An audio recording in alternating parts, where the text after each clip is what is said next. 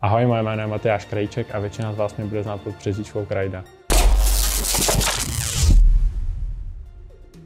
Narodil jsem se v Liberci, ale od malička žiju teda v Praze. Momentálně studuju střední školu, druhý ročník a ve volném čase hodně sportu, převážně hraju tenis a volejbal. K mé přezdívce se neváže žádná dlouhá story, jenom je to čistě z mého příjmení Krajček Krajda.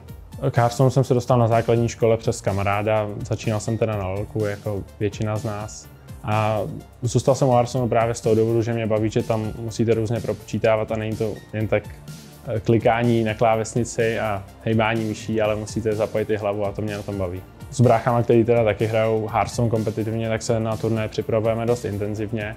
A když už teda dojde eh, k souboji mezi mnou a mým bratrem, jedním z nich, tak rivalita samozřejmě tam je veliká, ale navzájem si to potom přejeme. Nejoblíbenější balíčky mám asi dva, jedním je Cublock a druhým Pirate War a bavili mě z toho důvodu, že do line-upu k sobě parádně zapadaly.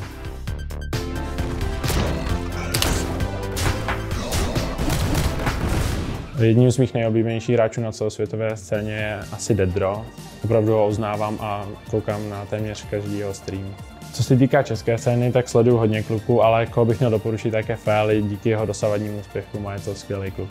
Do SUBY jsem se dostal teda přes kluky, byl jsem v kontaktu s Paverem a s Vlčákem už dříve a potom jsme se teda nějak domluvili s vedením SUBY a jsem rád, že to klaplo.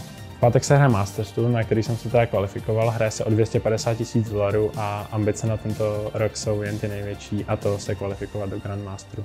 Hearthstone hrál přibližně 4 roky, začínal jsem na turnajích o 20 euro, který jsem teda pravidelně vyhrával a tím pádem jsem zkoušel eh, jak turné na tuzemské scéně, tak i na celosvětové.